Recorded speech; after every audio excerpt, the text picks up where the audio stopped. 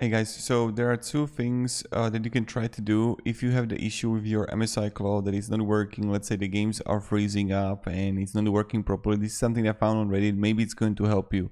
So I read somewhere that it's important to have a Windows updates first before MSI or graphic updates. This is the first thing.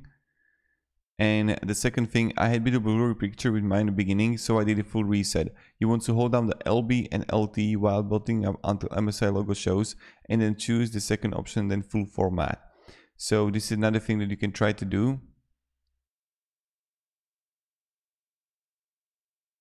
And what you want to do is that uh, you can also like press and hold when it's going to be turned off, press and hold the power button for like 10-15 seconds, maybe that is going to help and then just I'm going to read this for you.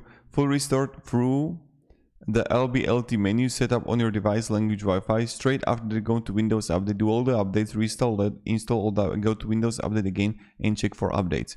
I'm saying that because some of the Windows updates require other Windows updates to install first otherwise they will fall. So then go to